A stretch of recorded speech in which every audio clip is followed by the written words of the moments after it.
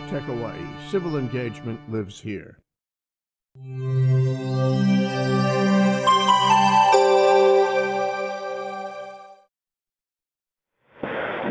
Welcome all back to ThinkTech Hawaii's Human Humane Architecture here from uh, Honolulu, our capital in our sometimes in peril paradise. And recently it's uh, full forces of nature. Um, hurricanes, we're approaching Olivia, uh, which is on the edge of being a hurricane, but our folks on the East Coast heading the Carolinas is way more severe. That's Florence, uh, Category 5 hurricane. So I have my uh, recent uh, guest on the show, Chris Ford, uh, who is heading there mourning the death of his father. So, uh, uh, Chris, please stay safe out there. And since this show on this Tuesday falls on 9 11, we cannot not remember what has happened 17 years ago which is an event uh, where more human forces were involved, and that's the attack on the World Trade Center in New York City. So this being an architectural show and about Hawaii, I was sort of struggling to find the right way to deal with that. And slide number one, please, up. Um, I went to our most commercial bookstore, which is Ala Moana, and I'm sorry to say we have lost our architectural chapter and we got merged with arts and photography. And at the very bottom left, you see what is left. And one of the books was one um, World Trade Center, which is the not exactly the replacement building because the two footprints got left and made into a memorial, but the, the tower next over, which you see at the top left, but uh, many, including me, think that this tower doesn't have um, the same level of innovation which the original one had. So I don't want to talk about that one. And I found something that gets close, I think very close, because the architect Minoru Yamasaki built um, uh, two buildings on the island and one actually shortly before the World Trade Centers, which were built in 70 and 72. So we're talking about a building he built in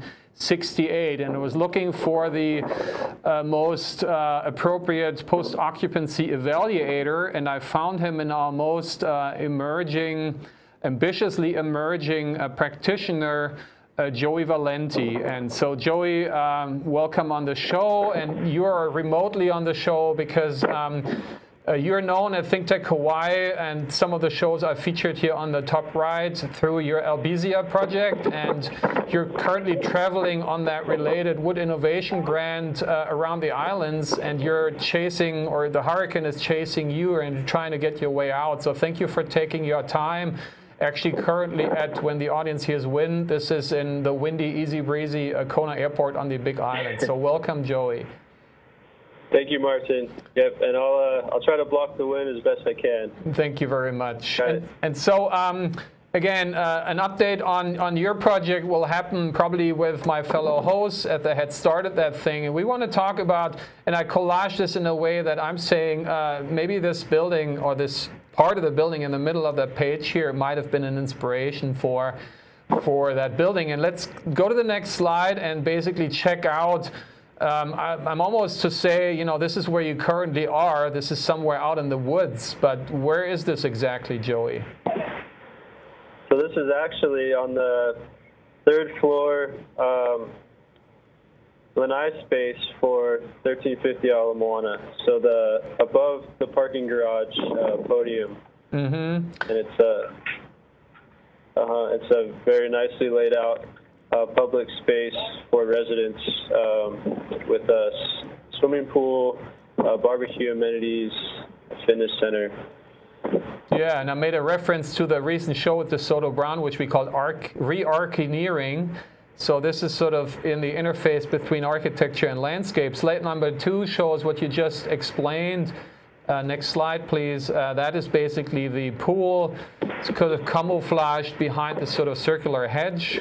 Next slide, number four, is nice walkways meandering through this very sort of jungly landscape. And, you know, the architecture almost sort of being an integral part. And next picture, number five, is is an outdoor uh, gathering space, right, in the building and in the park, under the building, I should say. Uh-huh. So, uh, but the, the way to actually get into the building is the next slide here. Uh, and I, uh, this is approaching, you already said, the name of the building is simply its postal address. That's very understated, very humble. It doesn't have a fancy Hawaiianized name or how they do it today, a themed name. This is very simply dry cut, typical for the sort of understated mid-century, just naming it with a number um, of the building. So 1315 Ala Moana Boulevard. And by the time I was checking out the building, this sort of um, vintage bug was parked in front of the building. So I thought this is a nice pair of two vintage, you know, um, sort of um, symbols of their time uh, matching matching each other. So let's go into the building. And next slide, where are we there, Joey? This is the, the lobby, the front lobby entrance as you walk into the building. Mm-hmm. And as, as you can uh, see here, right, it's what kind of features do you see and you guys are proud of? Uh, I think a key feature that that speaks throughout the, the design is the natural ventilation. Mm-hmm. So you can see the louvered um, the louvered system above the entryway, the two entry and exit doors. Um, yeah, let's turn around uh, sort of 45 degrees. Next picture. This is looking into the lobby. Uh, reminds me very much of these glorious American days of mid-century. This reminds me of um, the Amoco or Standard Oil building in Chicago. Uh, Edward Durell Stone, which we have a building on campus by Stone that we will do the next show about. And so this is very sort of classy yet understated. It's not to trying to bling and overdo it like in the lobbies of these days. It's, it's very subtle and humble and elegant, but yet uh, very impressive. I have to say. And, right. and this is, uh, we have known each other before from working at school together, but when I was checking out the building on my own, I got as far as the doorman, the security guy, and he was suspicious of this guy checking out the building maybe even before, because of the tragic background of Yamasaki buildings having been become victims of attacks. So, uh, and, and you saved me and helped me out because you were coming out with your partner and, and okaying that and say, this guy's okay, you, can, you can let him roam. And actually all the pictures um, we're seeing here, I was able to take uh, thanks to you. so um, yep. let's check out the building. Let's go up the elevator here, next picture and, and see we're here on a, on a typical floor plan and I pulled this from the, the website from a realtor including the text and it's almost like they feel a little bad when they say this is a more traditional design building compared to its super luxury neighbors. And we want to point out in the show that that's nothing to be ashamed of, that's, that's something to be proud of. I put in the north area, which is very important to fully appreciate and understand the building. As we can see, it's a double loaded corridor, so it isn't the ideal with a single loaded corridors that we love the most, but it's open to the uh, Mauka end of the hallway. And you know, this picture I took of that little feature where the, where the floor plan is, is narrowing, it's sort of echoing some of the details on the exterior that we're going to get to in a little bit. And why don't you uh, walk us through uh, a sort of a, um, a typical unit, and with that, let's go to the next slide, slide number 10. Okay, so that last image you saw was the third floor, I believe, as you would walk out, and there are units on that on that bottom level, but it takes you out to that grass lanai that you had showed earlier. Mm-hmm. And then what you're seeing in the following image is a typical, um, looks like unrenovated unit. So it has the original uh, kitchen, which is a, a semi-enclosed space and my my unit actually, uh, when we moved in, was already partially renovated, so that that uh, kitchen has been opened up, mm-hmm. and we have a peninsula. So definitely a different um, different experience once you change some things in the walls. Mm-hmm. But, um, and speaking of experience, if we turn around now 180 degrees, we're looking inside out. Next picture, please. Uh huh. And, so and now that that takes you. Mm-hmm. To, yep, to the outside lanai. Each unit is um, equipped with a lanai space that has, uh, I think, uh, hundred and something square feet of exterior space. Mm-hmm. And that seems very much like an outdoor living room, like a perfect lanai. And next picture, number 12, sort of shows uh, that this element is sort of does multiple things at the same time. The sort of convexing out allows you to, to stand at its most, you know, outside and it's almost like you're flying. But then this sort of um, uh, concaving in towards your neighbor's uh, dividing slab avoids that you can actually sort of peek around into your neighbor's unit. So it's very cleverly designed and it also gives this sort of very recti rectangularity of the building a pep and a spice of, of, or, of sexy curves, right? Mm -hmm. And so let's go back in, uh, next slide, and explain a little bit sort of the, the, the extended layout of the, of the units. So this looks like um, a slight renovation to a unit where they've opened up that space between one of the bedrooms mm. and the, the living space. And then if you look at that open door on the left, that was where we were standing in the previous image of mm-hmm. the outside lanai. So you have this open living floor plan that's adjacent to the kitchen, and then in this specific unit, you have a partition kind of opening that has allowed a much larger space between the unit and the bedroom. Mm-hmm. And we have to say, although we see that nasty machine out on the lanai, which is sort of not supposed to be there, which is a single you know, AC unit, but they were actually designed to be work without AC. We're talking 1968, and so AC wasn't as uh, dominant and predominant yet, and it, the building was designed in a way to actually naturally ventilate itself, sort of bioclimatically air conditioning itself. And you told me that, you know, it, for sure the original owners, uh, you know, many of them uh, have always been doing that, are still doing it, and we're hoping that through the show we can encourage more to do it because that's sort of a USP, something specific that all these new towers, they're designed in a way you can't do this anymore, right? So that is not a disadvantage in the sort of re uh, sort of um, appreciation of natural ventilation and of bioclimatic design. This might be a classic uh, to that degree. And I want to point out this, what you explained to the right. It's a very clever setup because you see this sort of set of two windows and then you see this closet. And you know this is something you would never find in modern buildings where it's all about the view which is a little absurd because the more you know buildings you build the less view you have. But they always go about the view. So they end up being nothing but glass and you get blasted. And here he puts a closet uh, you know towards the view. And and why did he do that? Uh, so the closet actually is creating these.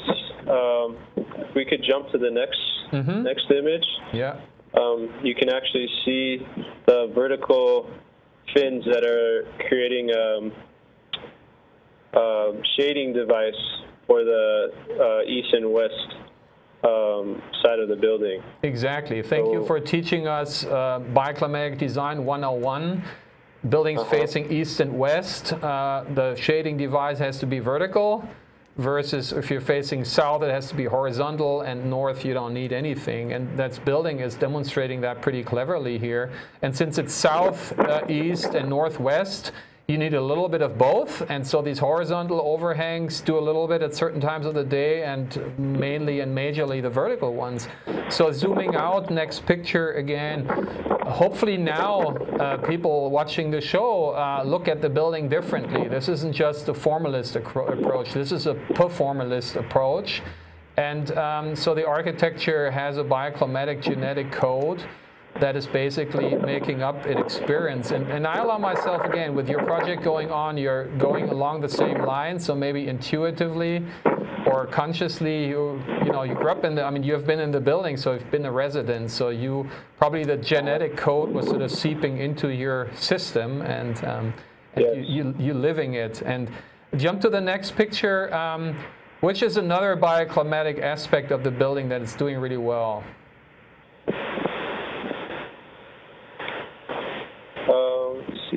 Sorry. Okay. Are we on We're, we're on 16? 16, exactly.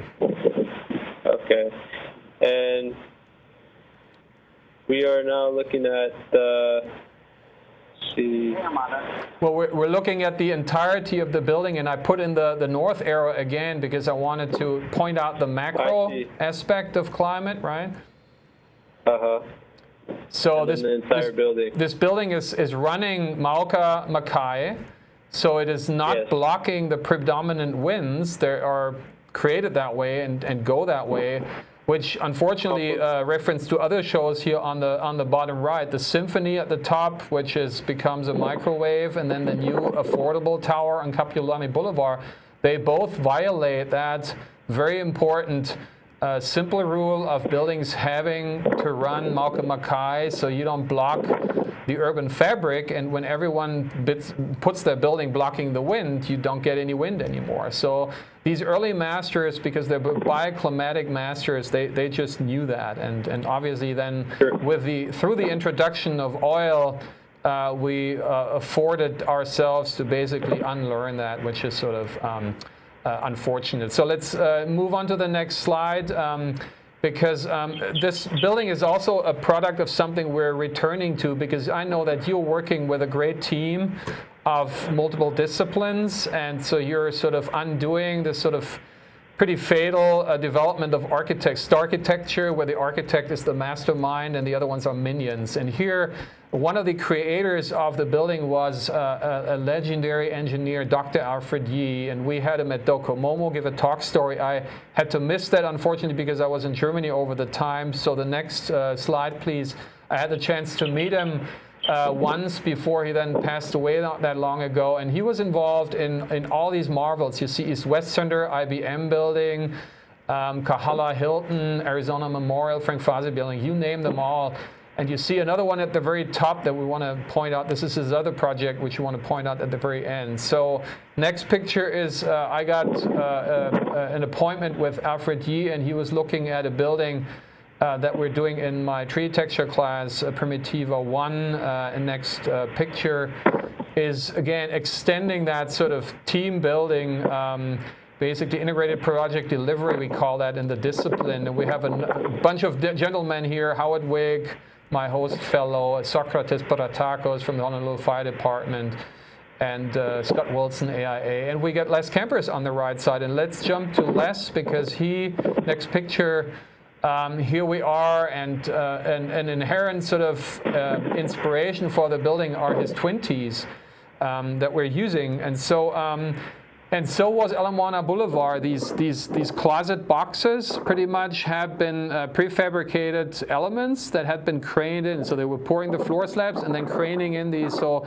very innovative also uh, in its making uh, of, of its architecture. And uh, next picture is you can see uh, our design a tribute or an evolution of uh, 1315 Ala Moana Boulevard, bioclimatic, easy breezy, obviously pushing it to an even more extreme level. And next picture, uh, that they would appear almost like more than uh, natural organisms in the landscape. Here, polemically placed on the Ala Moana Mall could be the proletarian people power tower hosting all the low-paid uh, service people who are working in the mall and they don't have to you know, uh, truck themselves out to the west and, and drive back in. They can stay where they basically are. So let's keep on driving Ala Moana Boulevard going west in the next picture.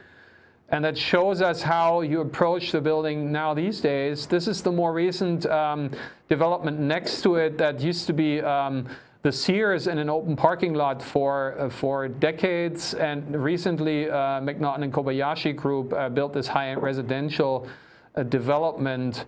And um, moving on to the next picture is driving by, uh, passing the building and looking back. And you see uh, something that they currently do to the building. What is that, Joey? So they're, they're, it's undergoing renovation on the exterior. And, um, you can see the stripes. They've actually begun painting, but um, the initial work they did was uh, spalling repair on the um, individual lanais and then um, repainting the entire unit. So they're currently in the last phase of this, I think, over the next several months. Um, before I go any further, I, I was tapped on the last question, so I got a little distracted, but I have that was my five minute mark. I have maybe one or two minutes left to to kind of wrap up before I head into the to the airport. So. All right. Well, thanks for staying with us for so long, especially under these circumstances here. So I appreciate it. So you said um, the justification for the color within the uh, so the building board association is was what? Uh, it had it was mentioned. I asked um, the the GM, and it actually was um, as I was told the original uh, design of the building, but I, I I'm not sure on where that information was. So yeah, and this as, is, um, as being private investigator is probably the second to last question when you had to go through security. I can maybe give a little clue about that. But we were saying before Uh-huh. the show doesn't really matter because you know color is like makeup, and you can take makeup off and put it on back on. And, and yellow seems to be the color of these days because the neighboring building on this side next to the round one has yellow on it. And also the new uh, Kobayashi McNaughton has yellow. So probably they thought everyone wears yellow so we got to wear yellow too right? But we were saying Yeah. maybe in the original days it was just beton bru because these were the times and you can sandblast that off and clear coat it at any time but we were saying, you know, what, what we appreciate is that uh, versus that previous sort of beige washing all over the building, uh, leaving the floor slab sort of beige and only making sort of these infill boxes, which are actually the closet boxes, is, is actually sort of making this sort of tectonic element of, of plugging in more, more visible. So we want to, you know, give them, give them that. Appreciate that. Um, the next slide is um, again from Ala Moana Beach Park looking, and you see it, you know, amongst these pretty hideously hermetic big monsters that are doing everything different uh, than Ala Moana Boulevard uh, basically does it. So it's, you know, we want to encourage people to see it as a really sort of well-aged, very sexy, mid-aged, uh, mid-aged lady that is, is looking, you know, as good as she always did all these years.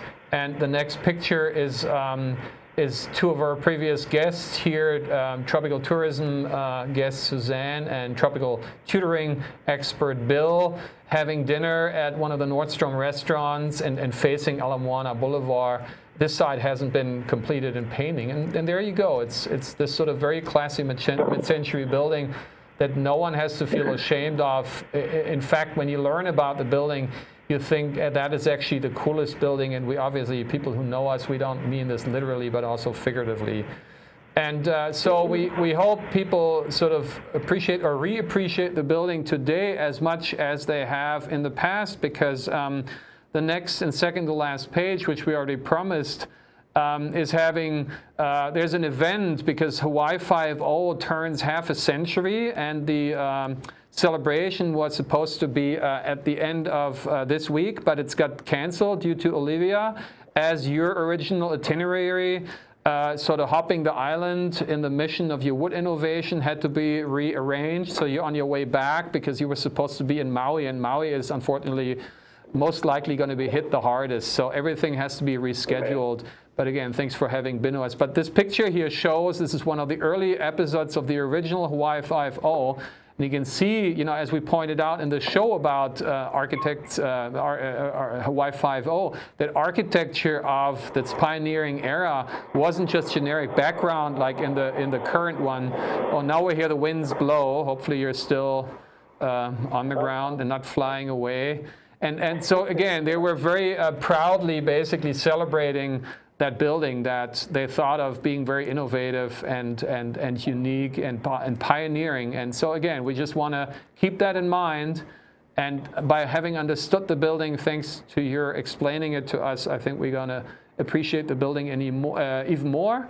Uh, that gets us to the end of the show. The last uh, picture here is, is again, um, we have uh, not only one building, but we actually have two buildings by this very famous to be memorized today because of the special event um, architect. And the other one is at the very bottom left. I inserted that into the Time magazine cover that he got way back. And this is Queen Emma Gardens. And Queen Emma Gardens is uh, a little bit different. It was built four years earlier than this one here in 64. And it also had a little bit more of a social approach. And with that, probably even more an inspiration for your project that you're doing and what we're doing.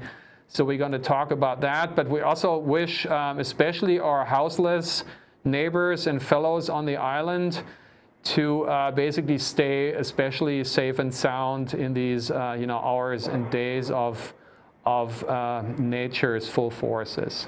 So Joey, thank you very much for your time. Much appreciated. Have safe travels. Ex- excellent. Thanks so much, Martin. I appreciate you having me. All right. So thank you, Joey. All right, so uh, see you next week for another episode of Human Human Architecture with DeSoto Brown. It's going to be called uh, The Built Rainbow, uh, Superficiality and Surface of the Architecture of UH Manoa. So be excited about that one. And until then, please uh, stay as sexy as 1315 Ala Moana Boulevard and safe and sound. Bye-bye.